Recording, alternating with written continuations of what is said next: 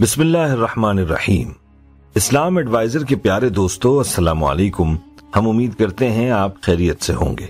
दोस्तों, याद रहे कि रात की तारीकी में बहुत सी बुराइयाँ और बसाइब रूनुमा होती हैं। इसलिए अल्लाह ताला ने हमें रात की तारीकी से पनाह मांगने की तालीम दी है। जैसा कि कुरान पाक में इरशाद है, वमिन शर्र गासिकिन बकब। और मैं सुबह के रब की पनाह माँगता हूँ तारीख रात के शर से जब उसकी तारीकी फैल जाए। और रसूलुल्लाह सल्लल्लाहु अलैहि वसल्लम ने फरमाया, सूरज गुरूब होते वक्त अपने बच्चों और जानवरों को बाहर न छोड़ें, इसलिए कि सूरज गुरूब होते वक्त से ईशा का अंधेरा छाने तक शैतान घूमते फिरते हैं। याद रहे कि सूरज का गुरूब होना रात की दलील है। रात एक तरफ़ थके हारे के लिए पुरसकून नींद का ज़रिया है तो दूसरी तरफ़ इसमें शयातीन और शरीरों की चलत फिरत तेज हो जाती है। इसीलिए इंसान को रात के वक्त सोने से पहले बहुत से ऐसे काम बताए हैं जिनका ख्याल रखना बहुत ज़रूरी है। अगर ये इंसान रात को ये काम किए बगैर ही सो जाए तो इसको सख्त नुकसान का सामना हो सकता है। आज की वीडियो में हम आपको सोने के बाकी आदाब के साथ साथ ये भी बताएँगे कि सोने से पहले लाइट न बंद करने से क्या नुकसान हो सकता है। इस बारे में हमारे प्यारे नबी सल्लल्लाहु अलैहि वसल्लम का क्या फरमान है और साइंस इसका क्या नुकसान बताती है। इस हवाले से मुकम्मल तफसील जानने के लिए वीडियो को आखिर तक लाजमी देखिएगा। दोस्तों, हम आपको आज के टॉपिक के हवाले से तफसील भी बताएँगे, लेकिन इससे पहले आपसे दरखास्त है कि अगर आप हमारे चैनल इस्लाम एडवाइजर की वीडियो पहली बार देख रहे हैं और अभी तक आपने हमारा चैनल सब्सक्राइब नहीं किया तो अभी हमारा चैनल सब्सक्राइब करें और साथ ही लगे बेल के बटन को भी प्रेस करें ताकि आपको मुस्तकबिल में हमारी अपलोड होने वाली मजीद वीडियोस का नोटिफिकेशन मिलता रहे। और हमारी तमाम बहनों और भाइयों से गुजारिश है कि दुरूद पाक की बरकत से होने वाली दुआ में शामिल होने के लिए अपना नाम कमेंट सेक्शन में ज़रूर लिखें और हमारी दरूद पाक की महफिल का हिस्सा बने। दोस्तों, याद रहे कि नींद ज़िंदगी की एक अहम तरीन ज़रूरत है। अल्लाह की एक निशानी है और एक बड़ी नेमत है। अल्लाह ने अपने बंदों पर इस नेमत का एहसान जतलाते हुए फरमाया, रात और दिन में तुम्हारा नींद करना और तुम्हारा उसका फजल यानी रोजी तलाश करना भी उसकी निशानियों में से है। जो लोग कान लगाकर सुनने के आदि हैं, उनके लिए इसमें बहुत सी निशानियाँ हैं। और वीडियो के आगाज़ में उस रात में जो शुरूर और शयातीन की हरकत का ज़िक्र है, वो भी इन्हीं निशानियों में से है। और इन्हीं वजूहत की वजह से अल्लाह के प्यारे हबीब सल्लल्लाहु अलैहि वसल्लम ने रात को सोने से पहले के आदाब बताए हैं, ताकि ये इंसान किसी भी किस्म के जानी नुकसान से बच पाए। इससे पहले कि हम आपको रात को लाइट न बंद करने के नुकसान के बारे में बताएँ, आपको रात को सोने के हवाले से प्यारे आका सल्लल्लाहु अलैहि वसल्लम के चंद इरशादात बताते हैं कि प्यारे आका सल्लल्लाहु अलैहि वसल्लम ने हमें क्या तालीमत दी हैं और आया हम इन तालीमत पर अमल करते हैं या नहीं। हज़रत अबू बर्जा असलमी रज़ी अल्लाह से रिवायत है कि रसूलुल्लाह सल्लल्लाहु अलैहि इशा से कबल सोने को और इशा के बाद गुफ्तगु करने को नापसंद करते थे। अलैहि वसल्लम ने फरमाया, जिसके हाथ में गोश्त या चर्बी की महक या इसका असर मौजूद हो और इसे धोए बगैर सो गया, फिर उसे कोई मुसीबत पहुँची तो वो अपने आप को मलामत करे। मतलब ये कि अगर आपने सोने से पहले खाने में गोश्त का सालन या फिर चर्बी वाला खाना खाया है तो ऐसी सूरत में हाथ धोकर सोना चाहिए, क्योंकि चर्बी या गोश्त की महक पर कोई भी मूजी जानवर का नुकसान पहुँचने का खदशा है। लिहाजा बेहतर यह है कि हाथ धोकर सोए, और सबसे बेहतर अमल यह है कि सोने से पहले वज़ू कर लिया जाए।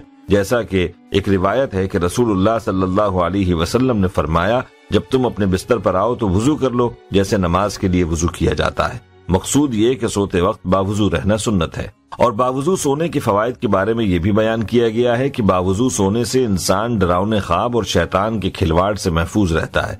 अगर उस रात उसकी मौत हो जाए तो तहारत की हालत में मौत होगी। अगर कोई अच्छा ख्वाब देखे तो वो सच्चा हो सकता है। इसी तरह से रिवायात में यह भी आया है कि सोने से कबल बिस्मिल्लाह कहकर तीन बार बिस्तर को अच्छी तरह झाड़ लेना चाहिए, जैसा कि इरशाद है, जो अपने बिस्तर से उठ जाए, फिर दोबारा सोने के लिए आए तो दोबारा उसको झाड़ ले, क्योंकि मालूम नहीं कि उसके जाने के बाद वहाँ क्या कुछ आया है। दोस्तों, हम आपको अहादीस की रोशनी में मजीद आदाब भी बताएँगे, लेकिन इससे पहले बात करते हैं रात को लाइट न बंद करने के हवाले से। तो याद रहे कि अहादीस में ये ताकीद भी मिलती है कि सोने से पहले आग और चिराग बुझा दें। जैसा कि हज़रत जाबिर बिन अब्दुल्ला रज़ी अल्लाह तहों से रिवायत है कि रसूलुल्लाह सल्लल्लाहु अलैहि वसल्लम ने फरमाया, रात में जब तुम सोने जाओ तो चिराग बुझा दो और दरवाजे बंद कर दो। और हज़रत अब्दुल्ला इब्न उमर रज़ी अल्लाह तु कहते हैं कि नबी करीम सल्लल्लाहु अलैहि वसल्लम ने फरमाया, सोते वक्त अपने घरों में आग को जलते हुए न छोड़ो। एक और रिवायत में है कि चराग बुझा दो, क्योंकि बसा औकात चूहा चराग की बत्ती को भड़काकर घर वालों को जला डालता है। दोस्तों, ये हैं वो रिवायात जिनमें रात को चराग और लाइट को बुझाने की ताकीद है। और इन्हीं रिवायात की रोशनी में ये कहा जाता है कि अगर आग या चराग जलाए रखने की ज़रूरत हो तो इसे महफूज रखने और इसके न भड़कने के असबाब लाजमी इख्तियार कर लिए जाएँ तो फिर इसे बुझाए बगैर सोना जायज़ है। इसलिए हदीस में जो सबब ज़िक्र किया गया है, अगर वो खत्म हो जाए तो मना करने का हुक्म भी खत्म हो जाता है। यानी एहतियात को मलहूज खातिर रखना ज़रूरी है। ताकि किसी किस्म के नुकसान से बचा जा सके। जैसा कि इमाम कुर्तुबी रहमत फरमाते हैं, आग बुझा दे या फिर ऐसे तरीके अपनाए कि वो भड़क न सके। याद रहे कि आप सल्लल्लाहु अलैहि वसल्लम के बताए हुए हर तरीके में बड़ी हिकमत है। अब अगर बात की जाए मौजूदा दौर में लाइट की तो इससे अगरचे आग भड़कने का खदशा नहीं होता, लेकिन फिर भी रोशनी तो मौजूद रहती है, और यूँ रात जिसको अल्लाह ने नींद के लिए बनाया है, उसमें इंसान पुरसकून नींद नहीं कर सकता। इसलिए चाहिए कि रात को लाइट बंद करके सोए, ताकि पुरसकून नींद सो सके। अहादीस में जो चराग का ज़िक्र है, उसको मौजूदा दौर की लाइट के मुतबाद ही समझा जाएगा।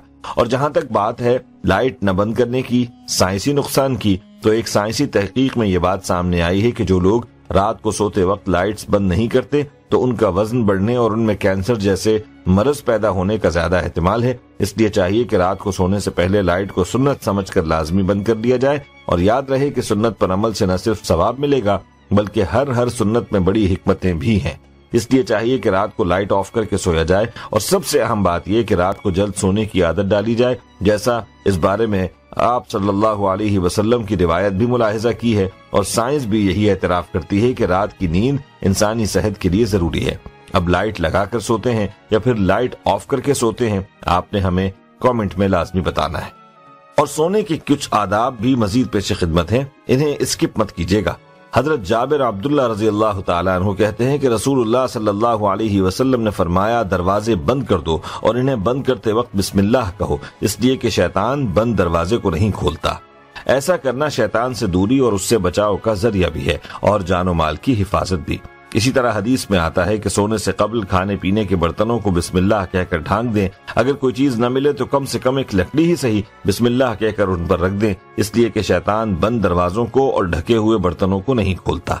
एक हदीस में आप सल्लल्लाहु अलैहि वसल्लम ने इसका सबब ये बयान फरमाया है कि साल में एक रात ऐसी आती है जिसमें वबा और बला नाजिल होती है और जिस चीज़ का मुँह बंद न हो और जो बर्तन ढका हुआ न हो, उसमें ये वबा उतर पड़ती है।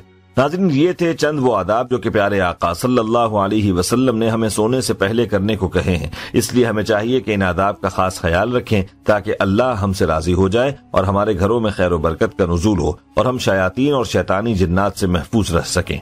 याद रहे प्यारे आका, सल्लल्लाहु अलैहि वसल्लम की हर हर सुन्नत में खैर बरकत है। और आप सल्लल्लाहु अलैहि वसल्लम की हर हर सुन्नत से घर में खैरें आती हैं, जबकि इंसान जितना भी सुन्नत से दूर होगा और जितना इस्लाम से हटकर ज़िंदगी बसर करेगा तो उसकी ज़िंदगी से सुकून और बरकत जाती रहेगी। इसलिए हमें चाहिए कि प्यारे आका सल्लल्लाहु अलैहि वसल्लम की तालीमत को सीखें और उन पर अमल करें, ताकि हम दुनिया में भी चैन सुकून हासिल कर सकें और आखिरत में भी कामयाबी से हमकनार हो सकें। याद रहे, अगर हम प्यारे आका सल्लल्लाहु अलैहि वसल्लम की इत्तेबा नहीं करेंगे तो दुनिया में भी परेशानियों का सामना होगा और आखिरत में जिल्लत होगी। दोस्तों, आज की इस वीडियो को अपने दोस्तों के साथ ज़्यादा से ज़्यादा शेयर करें। और अगर आप चाहते हैं कि हम आपके लिए, आपकी मर्ज़ी का कोई वजीफा या मौजूद लेकर आए तो आप इस बारे में हमें कमेंट सेक्शन में आगाह कर सकते हैं। हमें उम्मीद है कि आपको हमारी आज की ये वीडियो ज़रूर पसंद आई होगी। अगर आपको हमारी आज की ये वीडियो पसंद आई है तो सबसे पहले तो इस वीडियो को लाइक करें और अपनी राय का इजहार कमेंट सेक्शन में करें। और आपसे एक बार फिर दरखास्त है कि आप हमारे चैनल इस्लाम एडवाइजर को ज़रूर सब्सक्राइब करें और साथ ही लगे घंटी के बटन को भी क्लिक करें, ताकि आपको मुस्तकबिल में हमारी अपलोड होने वाली मजीद वीडियोस का नोटिफिकेशन मिलता रहे। अल्लाह ताला से दुआ है कि अल्लाह ताला हमें आसानियाँ अता फरमाए और आसानियाँ तकसीम करने का शरफ अता फरमाए। आमीन।